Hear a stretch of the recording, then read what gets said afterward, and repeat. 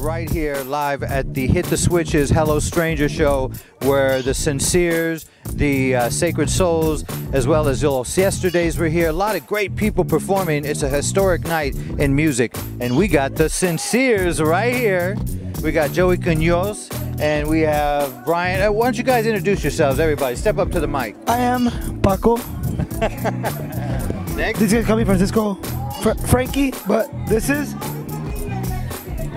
Chris Manjares. Brian Ponce. Brian Ponce. Stevie Fontaine. Stevie, what instrument do you play? Saxophone. Guitar, singer, and of course the great Joey. The Fool. Uh, Joey Quinones. What's up, everybody?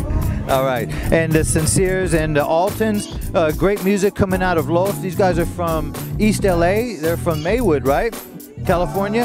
Uh, Joey, tell me about this movement that's coming out. That it's almost like a resurrection of what Ritchie Valens was doing in the beginning. But uh, man, I'm, I know you've been heard you heard that before. But tell us about this movement coming out of LA. You know, it's just something that kind of, you know, it's always been a part of our lives. I feel, especially as musicians growing up in LA, because we all come from the punk rock kind of background. You know, we all started going to the punk rock gigs and stuff. Eventually, you know, you run out of records to buy and CDs, so you start digging in your parents' collection. And, you know, for me, like, my, my, my dad's been in a car club since 71. So it's been like, you know, just a natural thing for me. I used to go to the car clubs all the time on the weekends, even if I didn't want to go, you know, so I'd be there.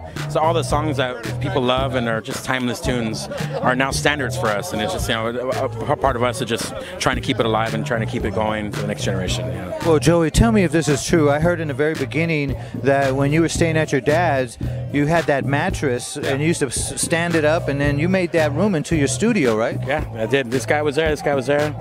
We did a record out there called What's His Name? Paco? Hey, what's the first name that we first thought of before these Sinseers? What was it? You got to tell me. The Pretenders. It was Paco and the Pretenders. You remember? You were like, uh, next. That's the first thing you told me. Really, Francisco Flores were here. The uh, Los Hermanos Flores. I love the this guy. Yeah, you've been knowing each other for a long time. 11 years ago, we used to have a band called JQ in the Review. We used to play in East LA. Nobody gave a shit. To this day, it doesn't matter. What we love is being able to play in front of people, getting our message across. So this is your dream. Did you ever dream it would be like this? I don't know if it's my dream. It's definitely my passion. It's my passion.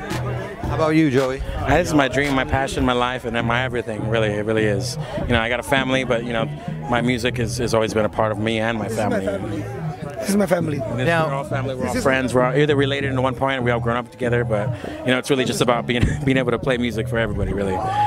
Well, you write, produce. Uh, you, we see in a video where you play all the instruments. Um, you know, tell me about your writing technique. Uh, where do you insp- where do you get your inspiration from? Is it love, life? Life experiences for sure. A lot of the tunes that you know I write personally it comes from a place that I've experienced in the past, or you know am experiencing. So it, it comes out translates as honest or what you may call it. But it's definitely something that's been a part of my life. But I always try to um, appreciate being able to write in a third person point of view or tell a story in another person's perspective. So I'm always experimenting with stuff, and I you know just love writing. You know. Now, the big part of the soul, uh, s- what do you call it? Soldies sound? The soldies sound. Um, you didn't make it up. It's, that's the coin term. The saxophone player over here. So, uh, big part of the music, right? It's some, I love Tower Power. I love that sound. But how important are the horns to this sound that's coming out now? I mean, uh, with music that you're hearing today, everything is done on a computer, and we're losing the human element to music. And I think people playing a horn gives it more expression, gives it more color. And I think it you you could hear it in the sound that we have, and the crowd really responds to it well as well. Love it. Horns are just so familiar and so connecting. You know, as an audience member, I think that's you know for me. I've always grabbed. I've always been a horn player too, and you know having these guys on board has just been such a pleasure because they they're such a, a, a magnet to people's not just attention, like you know, not, like it's a trick or anything, like a gimmick, but it's you know it's something that you want to pay attention to when you see a horn section up there. You know, you, you want to you want to hear the sound, you want to hear what they can deliver, and these guys do it great all the time. Now, you're a multi instrumentalist. Uh, how do you know how to play guitar, man? Drums and uh, horns and all that. How'd you pick that up in school? Mostly in school, yeah. Marching band. I've been a band geek most of my life. You know, during middle school and high school. I guess the beginning of my life, I guess. But Um, you know, it's just you know, I've always been the guy who to fill in some spots and some holes. So you know, whenever there was a dropout or anything, a hole missing, I would step in and kind of fill that spot. So I'm grateful for those opportunities because they made me the musician I am. Yeah. Now, I mentioned Ritchie Valens. Who are some of the other people that inspired you to do music? Uh, James Brown, one of them? James Brown's a big one. What do you think? Uh, Otis Redding. Oh man, there's a bunch of them. You know, I, I, for me, before I got into soul music, I've always been into soul music, but reggae music, early reggae, 1960s, has been a big thing. So John Holt, Paragons, Alton Ellis, those singers are just the singers that I grew up to, and you know that's how we got into soul because they were listening to the guys in the, in, coming from the Code Records, yeah, all from the states, you know. So the uh, single that you have seems like. Uh, tell me a little bit about that, man. Seems like uh, it's an old song we used to play in bars about like six, seven years ago. Hey, I didn't know you were allowed in bars. You were probably what, underage? Chill, chill, chill, chill. No, no, it's a song we used to play at bars all the time. It's just one of the set list tunes that we had. You know, eventually, you know, we did a video for it for the Recordium, and it got semi kind of viral, got passed around a lot, and that became like our calling card. People knew us over there. It seems like you know that was our song, to the point that before what's his name came out. So it was kind of the song that introduced us to the LA public and the, you know the crowd, the Soldies crowd, if you want to call it, and the record labels. They were that's the one that kind of got their attention, and we were fortunate enough to put to release that song out with uh, Penrose Records with Gabe Roth. Here's the Cholo interpretation of uh, "Tell Me His Name." Tell me his name, ese. Um, what's up, eh? Tell me his name, eh? Um, so, what do you hope to achieve with this band, man? What's the what's the goal, man? Um, I mean, travel the world.